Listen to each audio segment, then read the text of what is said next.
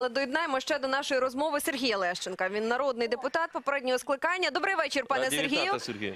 Дякую, що доєднуєтесь. Добрий вечір. Ви добре чуєте мене? Добре Та, ми, чую. ми вас чуємо. е, А от ми говоримо в студії з депутаткою Людмилою Боймістер. Вона говорить про те, що президент е, трохи непослідовний у боротьбі з олігархами. Говорить про те, що у Зеленського є улюблені олігархи, а є ті, кому він з трибуни Верховної Ради проголошує війну. Ну, давайте почнемо здалеку. Як мешканець Шевченківського району, я невдоволений тим, як пані Буймістер виконує свої депутатські повноваження. Хотів, щоб вона не забувала про той округ, який її делегував парламент, чиї інтереси вона представляє.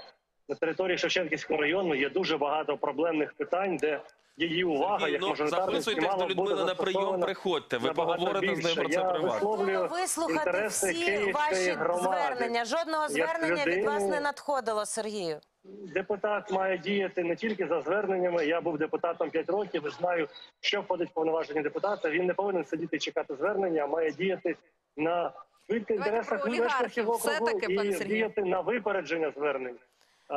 Скільки проблем в Шевченківському районі, ми чудово знаємо. За якою Я живу, живете? вся країна знає, де я живу.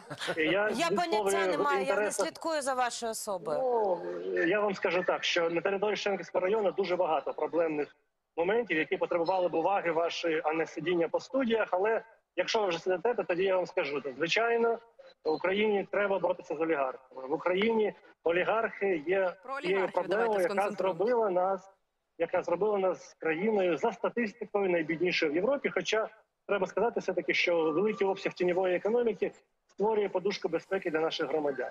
Що стосується подвійних стандартів, я проти подвійних стандартів. Вважаю, що обмеження впливу олігархів має бути системним до всіх однаковий підхід.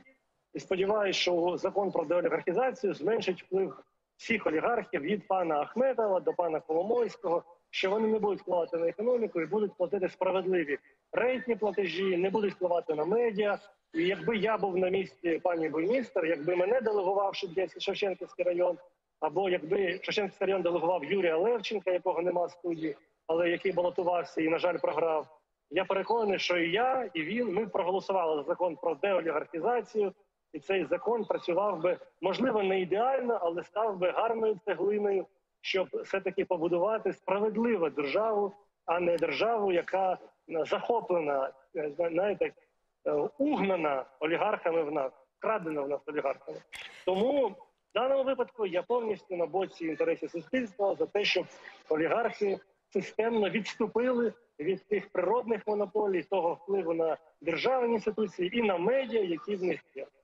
От Почули, почули. Про Дамо Людмилі олігархів, відповісти. пані Людмила. Да, ви можете А, а у дозволити мене відреагувати? питання: а який саме пункт закону про деолігархізацію обмежує монополії? І, і яким чином?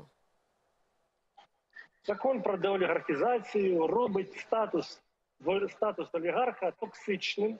Е, Люди мають, е, які з ними співпрацюють, реєструвати цю від- цю діяльність. Відповідно, органи фінансові, органи банківські, органи страхові, міжнародні фінансові структури будуть до цих людей застосовувати більш суворий моніторинг, перевірку доброчесності, комплаєнс. Що вони А чиновники мають звітувати, і відповідно люди, які перебувають в статусі олігарха, будуть за це платити репутаційну ціну.